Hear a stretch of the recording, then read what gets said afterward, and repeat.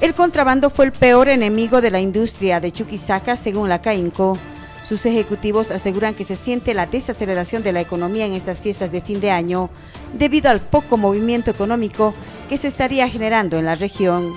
A nivel central creemos en definitiva que no se ha tenido la respuesta que hubiéramos esperado y que había a través de documentos, de compromisos verbales, de reuniones varias eh, respecto al contrabando, por ejemplo, pese a, ser, eh, pese a ser uno de los departamentos que ha conformado este comité a nivel nacional, liderado incluso por el viceministro de lucha contra el contrabando,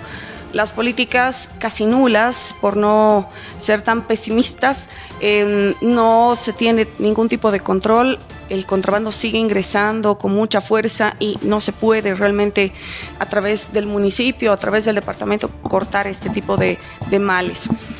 Em, el crecimiento económico realmente minúsculo, no se podría esperar algo eh, diferente. No se siente un ambiente navideño para fin de gestión y creemos aún que no, ha, no ha habido una recuperación significativa por parte de las empresas. Ha sido muy difícil ver un incremento salarial que no está acorde o correlativo a esta inflación de la, de la presente gestión. Y bueno, se han tenido que luchar eh, con varios sectores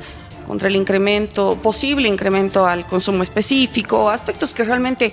eh, estarían pues perjudicando y fulminando en todo caso la actividad de empresas industriales y las principales para nuestro departamento, ¿no?